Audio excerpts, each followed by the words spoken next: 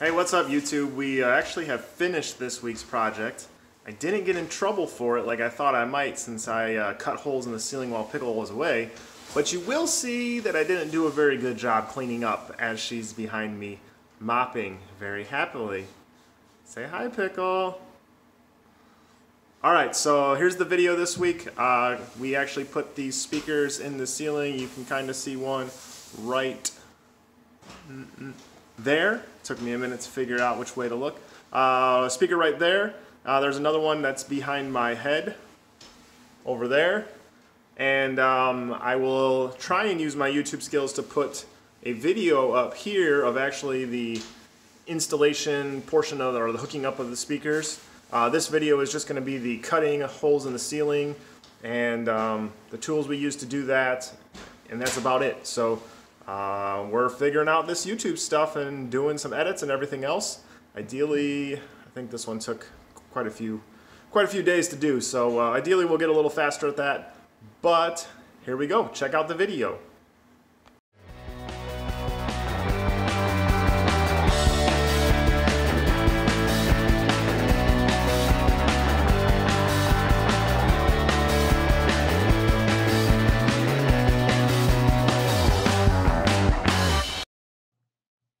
items that you need in order to install Dolby Atmos speakers, at least the items that we needed. Gloves and a respirator. We were working in the attic, so uh, protection for your hands and um, lungs is important. Speakers, obviously to install the speakers you need the speakers themselves, but also the template that comes with those speakers. Uh, if your speakers didn't come with a template, then best bet would be to trace a piece of paper so that you kind of have an idea of how big the hole is going to have to be. This will help you place it as you move forward. A drill, we put a hole right through the middle of the template so that we knew the exact middle of where we wanted the speakers and could check them out from below after we put the hole in the ceiling. Wires to mark those holes so they're easier to find. A rotozip, um, this is like a big Dremel tool uh, you'll see in the video there's an attachment to it that allows you to cut holes very easily. If not, you'll have to find a way to cut a hole into your ceiling uh, in a circle. Obviously, can be done by hand with a bunch of different hand tools and items like that, but the RotoZip makes it pretty easy. Uh, precursor to the video, you'll want to have a couple extra bits available if you're doing um, plaster versus drywall. Safety glasses, Again, this is just protection from falling debris and I even used those up in the attic with all the insulation that's loose and everything like that. Flashlights, again, working in the attic, it's nice to have light. The speaker wire so that you can power your speakers once they're installed. A tape measure, this just helps you center and, and properly place them. A utility knife, um, just handy to have if you need to cut the speaker wire, uh, potentially to strip insulation or other items. Um, taking one step back, I actually used a laser level in addition to the tape measure to make sure that the placement was right, but that's totally optional. Uh, you'll see in the video that I'm a, I'm a little obsessive about uh, some of these items, so uh, did a little bit more than uh, maybe necessary. Wire nuts, um, this is actually not necessarily for the same project. Uh, we tried to do two things at one time, uh, so I also took some wire nuts up to do some additional wiring for my projector. Uh, that didn't work, unfortunately, but I did take them with me. Wire strippers. Uh, I put a picture of these up here. These are the uh, Irwin Vise-Grip style wire strippers. These are awesome tools. Uh, this was the first time that I had ever used them, but in terms of having to strip and deciding how much of the wire you want to strip, these are great. They work on all different sides or sizes of wire. So I highly recommend these wire strippers. If you don't have the, this particular kind, you don't need them. Um, but as uh, I continue to acquire more and more tools, I find that some of these specialty tools really do make the job really easy. Screwdrivers, these were just in case. Uh, I didn't actually use them for anything other than installing the speakers. Um, didn't need them up in the attic. Electrical tape, this was also just in case working with wiring. Uh, if a wire nut doesn't work or something else, it's nice to have the electrical tape. And finally, banana plugs. Um, again, this is kind of an optional item, but this just makes installing speakers a lot easier. So there will be In the video where I actually do all of the speaker install, you'll see the banana plugs and how to install them. So this is all the items that I needed for the project. Um, let's get into the actual video of how it all went.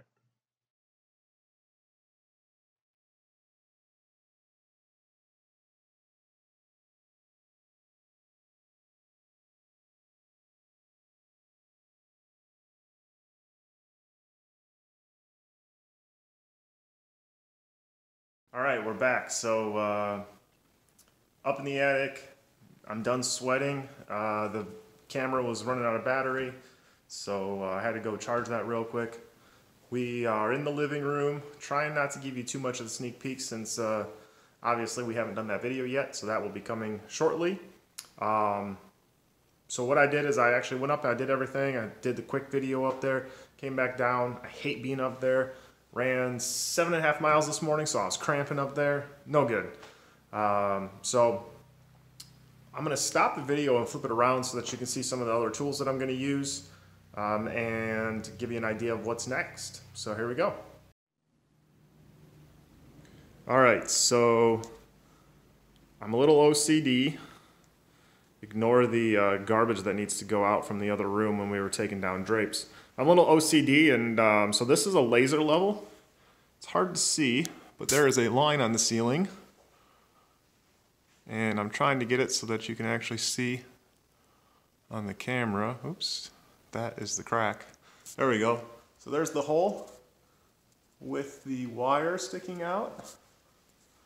You can see right there, just sticking down. So that's where I'm gonna cut.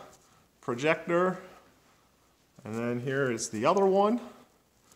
And then down on the floor here, in the bright light, this camera doesn't like.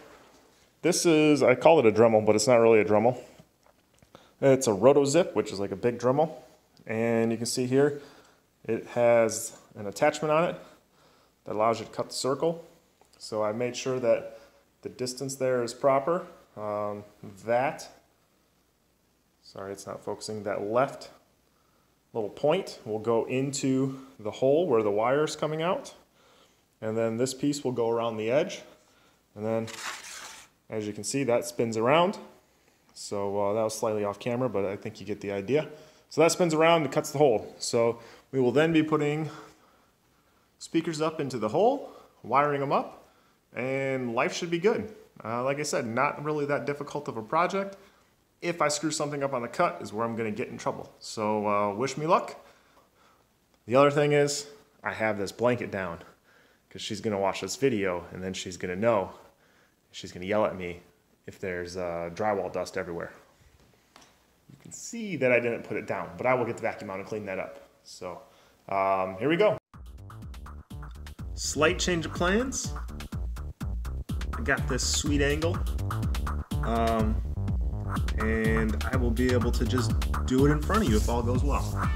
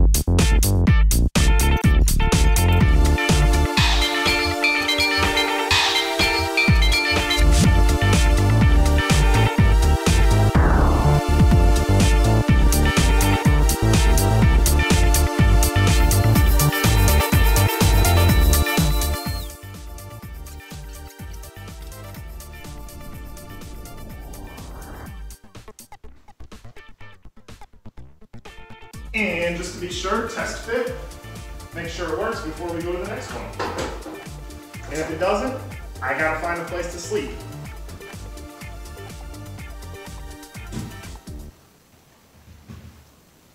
That looks good.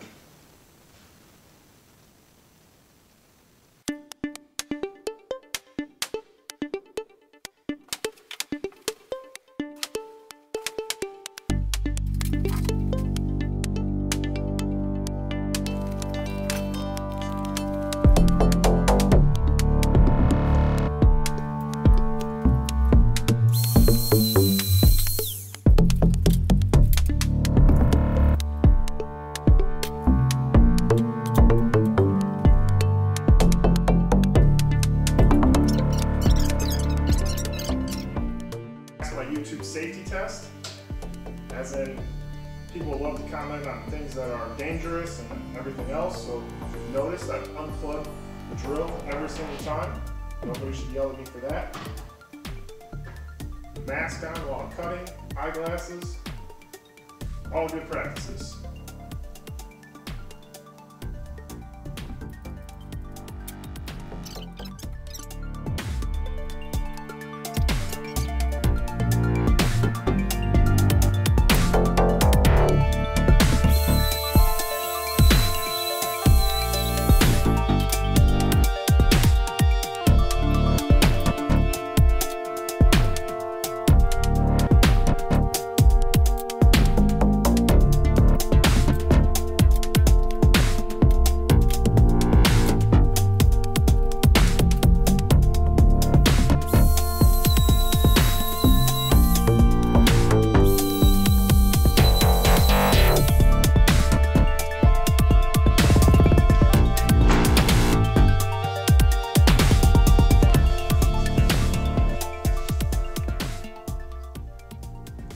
See that.